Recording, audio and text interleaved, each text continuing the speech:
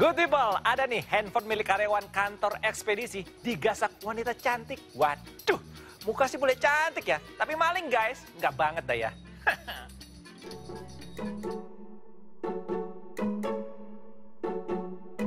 Selamat sore, mau kirim paket dulu nih. Isinya simpel aja kok.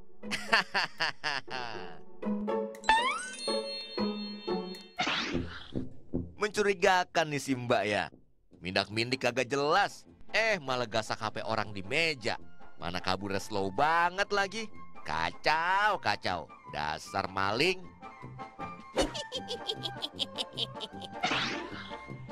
Ini dia good people, aksi wanita cantik yang ngembat HP di kantor ekspedisi di kawasan Kusuma Bangsa Tarakan Timur good people.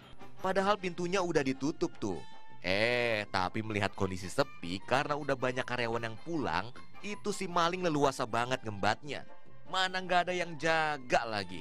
Hmm, cantik sih boleh, tapi hatinya busuk good people. Nggak masuk list calon pacar aneh dah.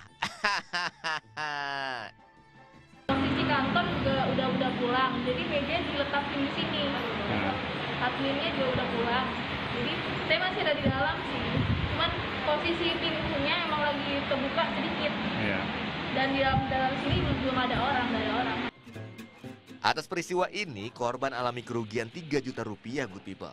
Korban pun telah melaporkannya kepada polisi dengan menyerahkan barang bukti hasil rekaman CCTV. Semoga cepat ketangkep ya.